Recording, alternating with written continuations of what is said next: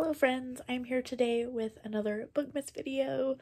Um, this was not the one I originally had planned for today, but I lost that footage and honestly, like, I don't feel like redoing it right now. So, that'll probably be the next one you see. Um, so what I'm going to share with you today is my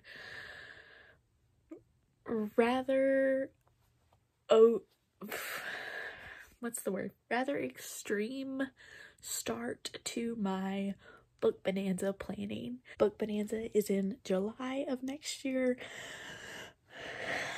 And like i'm ready after it got canceled um the past two years. So um i'm gonna flip you around and show you what my like very base of my planning spreadsheet looks like. Um,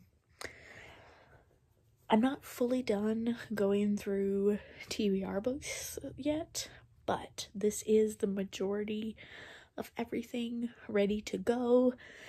And then I think my plan is just around the first of each month, kind of checking in with it, seeing what I've moved from TBR to read books, adding in which authors I've read from. Um, but yeah, let me show you. So this is my spreadsheet. Um, it's just on pages on my uh, MacBook. Um, so what I started with was the type, the like authors. I went through that whole, how many are there?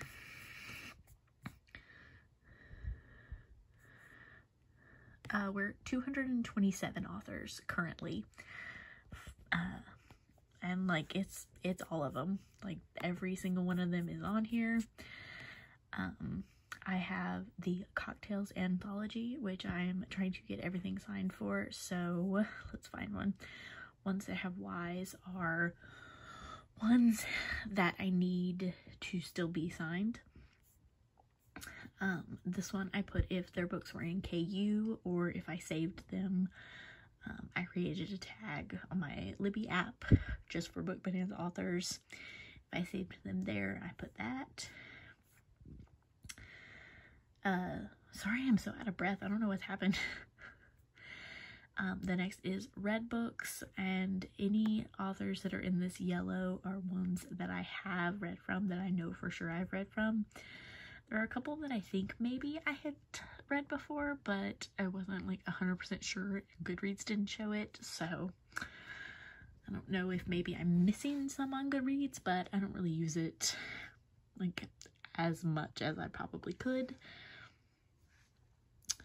Um, the next one is TBR books, and like I have, these are books that I physically own on my TBR that I need to try to get to.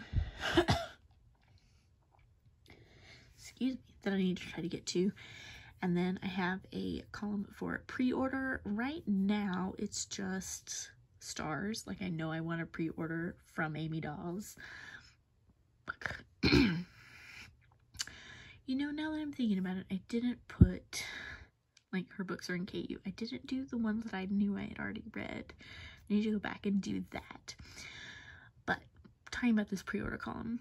Um, basically when I get the pre-order done, the books that I choose to pre-order from her will go in that column. Um, so